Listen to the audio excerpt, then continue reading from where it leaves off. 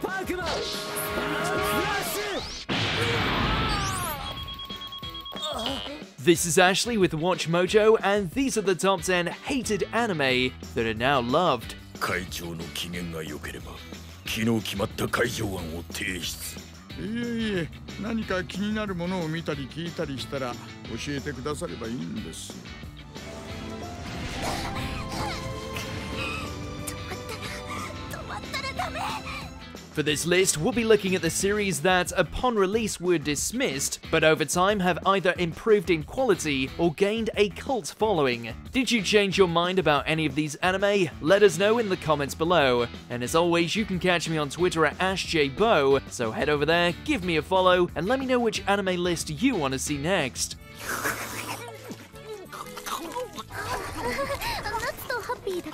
Number 10, Digimon Frontier. Okay, I'm coming back No Digimon, no problem. In one of the franchise's biggest departures, this fourth iteration of the Digi-Destined were not given any digital partners, having the kids themselves transform into Digimon. Calm down. Did you really think it'd be that easy? You're right. We need to get focused here. Yeah. This didn't sit too well with some who found the connection between partners the highlight of the series. In its absence, Frontier went out of its way to deepen the lore, bring some creativity to its fight scenes, and deliver some of the best Digivolutions the franchise has ever produced. No wonder so many consider it a sleeper hit. Right, Susanna-omon. Now go clobber that evil slug. With pleasure. Number 9, Mr. Tonegawa, Middle Management Blues.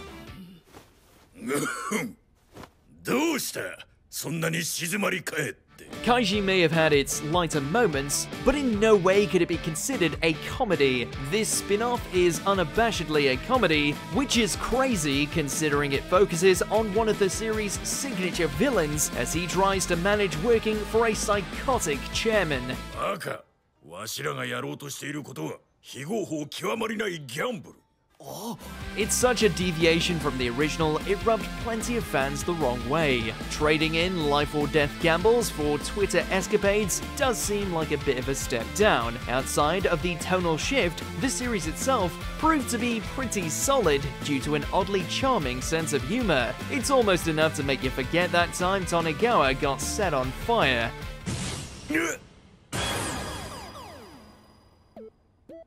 な Oh, sensei. Number 8. Fairy Tail.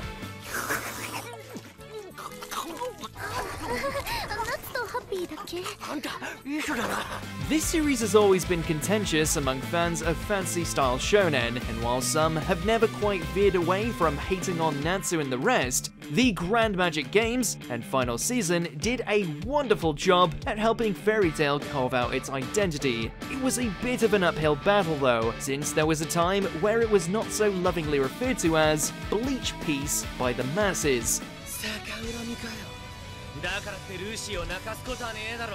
That Gildart Shanks comparison didn't help matters either. Either way, when people actually gave the series a try, they realized its hot blooded fight scenes and genuinely lovable cast made it stand out from the rest. Number 7 Beastars. 今までと特に変わらないから大丈夫。怖がられても嫌われてもそうやって生きてきた。It wasn't so much the 3D CGI that had fans turning their noses up, it was more the Zootopia vibes, some even considering it bait for furries.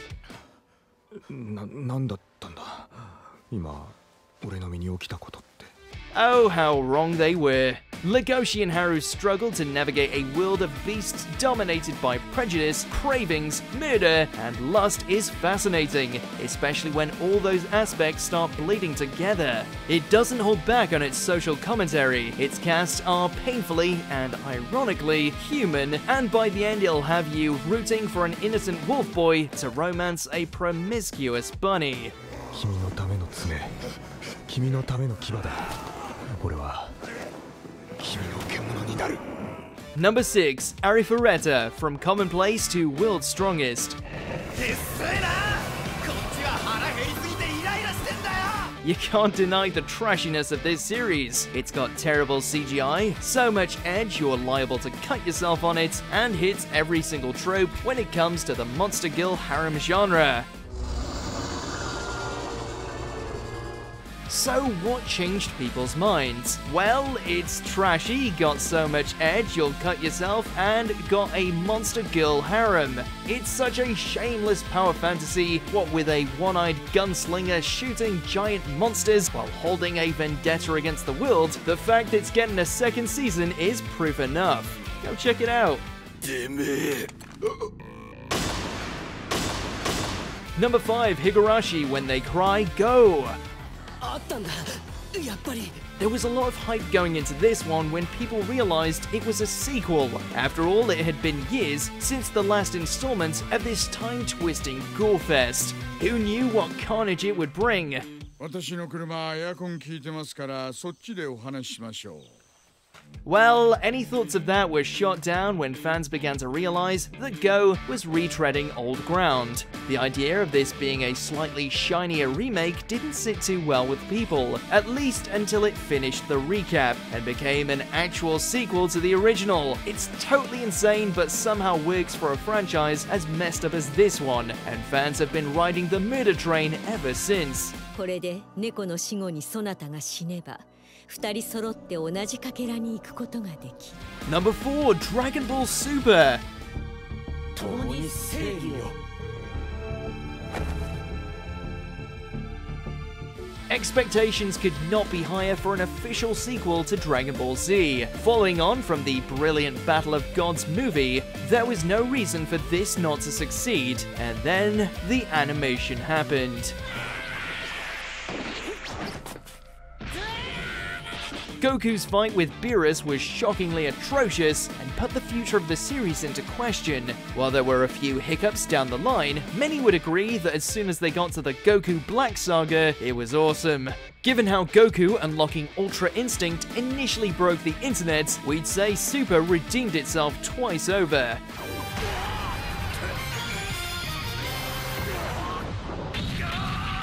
Number 3, Yu-Gi-Oh! GX.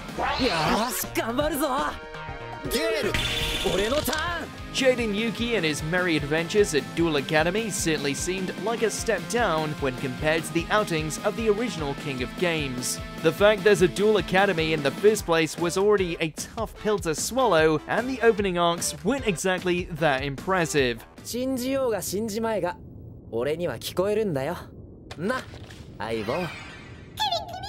However, by the time the evil spirits, supreme kings, and other end-of-the-world shenanigans started to crop up, the series finally found its feet. Even Jaden and his radical bro mentality started to become endearing after a while. The monster cards were pretty sweet too.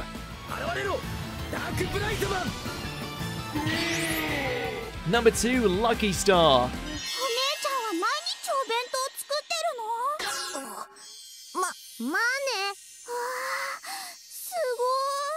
Nowadays, we all know this series as one of the quintessential slice of life comedies, filled to the brim with quickfire, low key gags, courtesy of that savage that is Konata. However, during its infancy, there was a lot of disappointment voiced by the fans.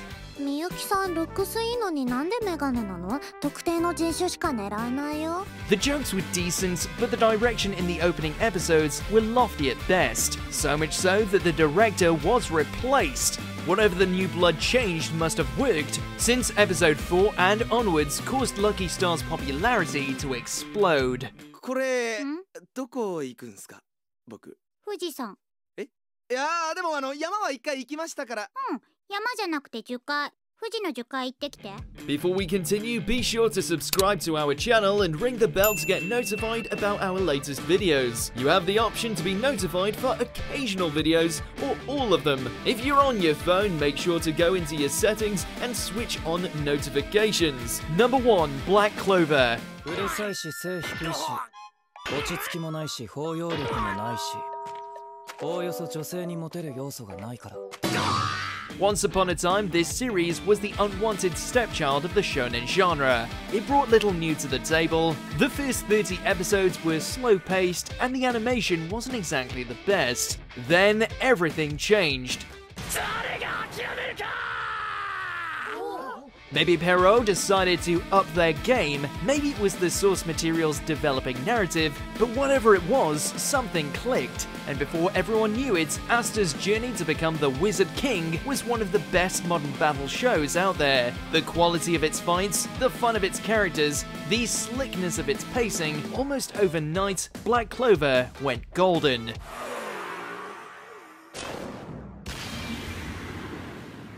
Do you agree with our picks? Check out this other recent clip from Watch Mojo and be sure to subscribe and ring the bell to be notified about our latest videos.